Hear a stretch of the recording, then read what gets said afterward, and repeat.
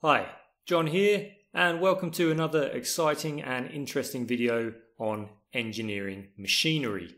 Now, in this video, we're going to be talking about the shell and tube heat exchanger. Some of you might think you know a lot about shell and tube heat exchangers, and that's fine. Then you can watch this video and it will just reinforce what you already know. Some of you might not know anything about shell and tube heat exchangers, and that's also fine because you're going to learn a lot in this video. We're going to look at all of the main components that make up a shell and tube heat exchanger. I'm going to show you some of its design features, its advantages and disadvantages, and I'm also going to show you how it works. So let's get started. Now this is not how a shell and tube heat exchanger normally looks in the workplace. If it was, it would be a lot easier to understand how it works. So let's reset the configurator tool for a moment, and now you can see the shell and tube heat exchanger as it would normally be in the workplace. There are different designs and variations, but this one here is quite standard. So let's start by looking at the outside of the heat exchanger. We've got the shell. It's a pressure vessel, which means it's going to be pressurized to match the fluid or the system pressure that's flowing through it, or specifically flowing through the shell. Sometimes people refer to the shell also as the housing. We've also got a front and a rear of the heat exchanger. Other than that, we've got four main connections to the heat exchanger. One, two, three, and four. We have two inlets and two outlets because we have two fluids that are flowing into and out of the heat exchanger. This heat exchanger is called a shell and tube heat exchanger because it has a shell and because within the shell there are some tubes. Let's take a cross section and we can now see exactly what's happening inside the heat exchanger. So we have a tube side fluid. The tube side fluid enters here and is discharged here. We have a shell side fluid which enters here and goes along here and is discharged here. The reason we call the tube side fluid the tube side fluid is because it flows through tubes.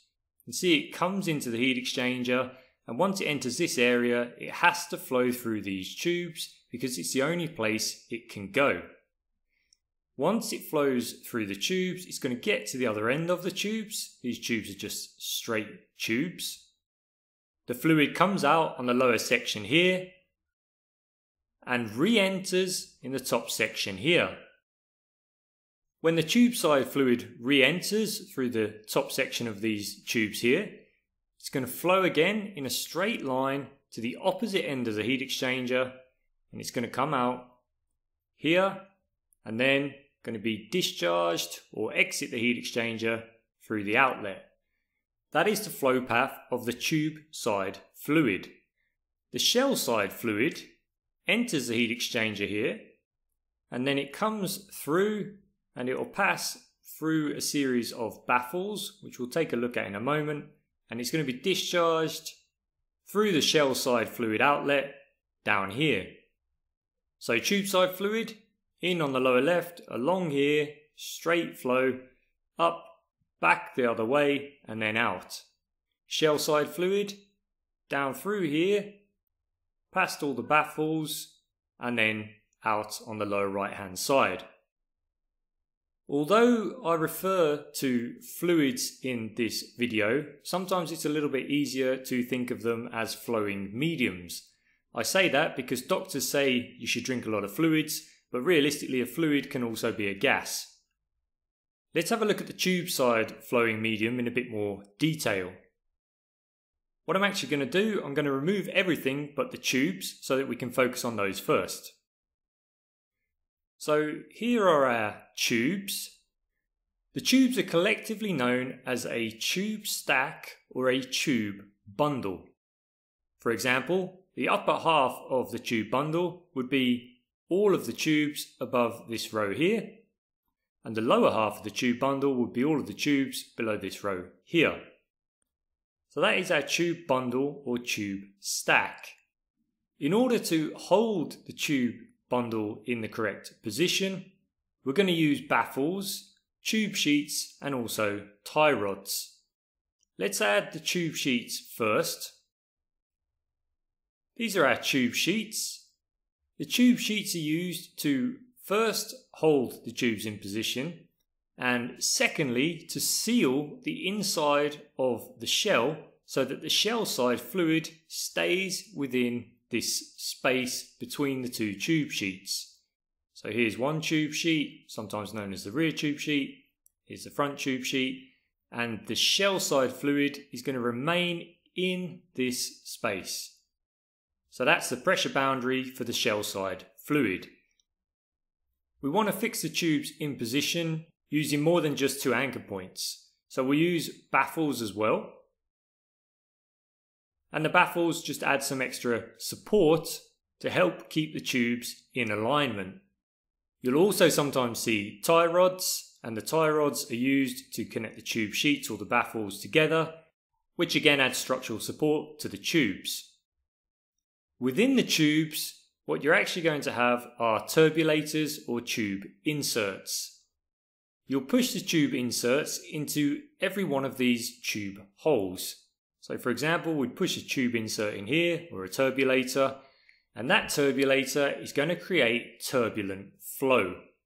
This turbulent flow helps increase the heat transfer capacity of the heat exchanger and also helps us keep the inside of the tubes clean. We reduce the likelihood of deposits building up on the inside of the tubes because we have turbulent flow rather than laminar flow. So that's everything related to the tube side fluid. Let's load up some parts now so we can have a look at the shell side fluid. Now we've already discussed the tubes, so I think we can remove those. And we can see now exactly what's happening with the shell side fluid. The shell side fluid is entering through here, it's going around the baffles, and then it is being discharged here we can see that around the tubes there is space for the fluid to flow because the tubes are not all directly next to each other. There's a bit of a gap. You can see here, if I come across, all of these gaps where my mouse is going now is where the shell side fluid is going to flow around the tubes. We want to have turbulent flow, the same as what we had in the tubes, and in order to get that, we use the baffles. So the shell side fluid comes in here, flows around the tubes because of the baffles. It will exchange heat with the fluid within the tubes and then it's going to drop out of the shell side fluid outlet here. Once again, this turbulent flow increases the heat transfer capacity of the heat exchanger, which makes it more efficient, but also helps us prevent or reduce the likelihood of deposits building up on the outside of the tubes. Let's load up another 3D model so I can show you a slightly different design of a shell and tube heat exchanger. So here is the first design that I want to show you that's slightly different from what we looked at before. You can see that externally it looks pretty much the same. But if I show you the tubes and we reverse that around, you can see that the tubes themselves are no longer just straight they're actually rounded into a U shape. This is actually called a U-type shell and tube heat exchanger or a U-tube shell and tube heat exchanger, which is slightly confusing. But anyway, you can see that the tubes have this U shape. Let's load up a more simple design because I just want to explain to you what a one-pass and a multi-pass heat exchanger is. So here we have a heat exchanger without a header or a bonnet. And if we take away the shell, in fact, what we can do, we can actually just take a cross section. Can see that this time the tube side fluid comes in here, flows through the tubes and exits on this side here. So in on the right, out on the left. And what's interesting about this particular heat exchanger is that the tube side fluid represents a single pass of the heat exchanger. You'll often hear people referring to heat exchangers as either single or multi-pass. The shell side fluid has a multi-pass design. It's passing multiple times over the tubes. The tube side fluid does not have a multipass design because it's travelling directly through the tubes and then out. If the tube side fluid was to come in from the right, come out on the left, and then go back around and then exit on the right, then this would be a multi-pass design because it too would be passing through the heat exchanger multiple times. This heat exchanger would be described as a multi-pass heat exchanger just because the shell side fluid or one of the fluids is passing multiple times over the other fluid. If the shell side fluid came in from the top and dropped out of the bottom with no baffles, then the shell side fluid would have a single pass design and so would the tube side fluid and we would say this is a single pass heat exchanger. That's actually quite rare though, you don't see that very often because it's not very efficient. If you ever look at steam condensers though, you will see that design. And generally, whenever you convert a vapor into a liquid or whenever you're changing the state of something, you'll often use a single pass design. People also talk about counterflow, crossflow, and parallel flow. This particular design is a counterflow design because the tube side fluid enters on the right and exits on the left, and the shell side fluid enters on the left and is discharged on the right. So they're flowing in opposite directions to one another, right to left and left to right. That is a counterflow design. It is the most efficient type of flow design you can have for a heat exchanger. If the shell side fluid came in on the right and exited on the left, then we'd have a parallel flow design because both the tube side fluid and the shell side fluid are flowing from right to left. The shell side fluid came in at the top and was discharged straight out of the bottom, this would be a cross flow design because the fluids are flowing at a 90 degree angle relative to each other. So different flow designs depend on what you want to use the heat exchanger for. Let's have a talk now about some of the advantages and disadvantages associated with this type of heat exchanger. When we talk about advantages and disadvantages associated with the shell and tube heat exchanger, we're often comparing it to the plate heat exchanger because in the industrial world we're either using plate heat exchangers or shell and tube heat exchangers, normally. There are some other designs, but those two are the most dominant within the industrial engineering world. Now, shell and tube heat exchangers are relatively cheap. They have a simple design and they're quite easy to maintain. They're also suitable for higher pressures and temperatures compared to plate heat exchangers. The pressure drop across a shell and tube heat exchanger is less than that of a plate heat exchanger. It's also easy to find and isolate leaks in the tubes compared to trying to find and isolate a leak in a plate heat exchanger.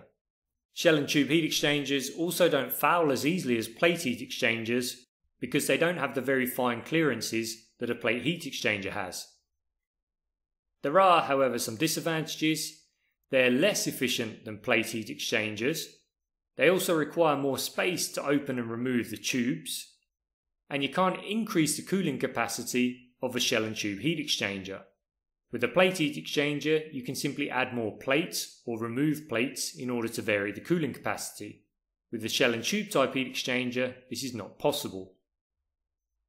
If you want to learn more about shell and tube heat exchangers, then I suggest you go to the website. I'll put the link in the video description area and you can read through one of our articles which will tell you a little bit about shell and tube heat exchangers and discuss more of the topics that we've covered in this video. If you still want to learn even more about heat exchangers after that, then you can check some of our other associated articles within our 3D encyclopedia. You can see here we have an associated article for a plate heat exchanger. If you want to access some free interactive 3D models, then go to the website and select any model from the 3D models menu that is highlighted green. And if you want to take your engineering knowledge to the next level, then check out some of our online video courses. We have over 30 hours of video courses currently online, and they cover everything from valves to diesel engines to pumps to heat exchangers. I've pasted a discount coupon in the video description area So if you do decide to purchase any courses, then be sure to use that discount coupon. If you like this video, then please do share it or like it on social media. It really does help us out and we really appreciate it. And don't forget to subscribe to our YouTube channel. Thank you very much for your time.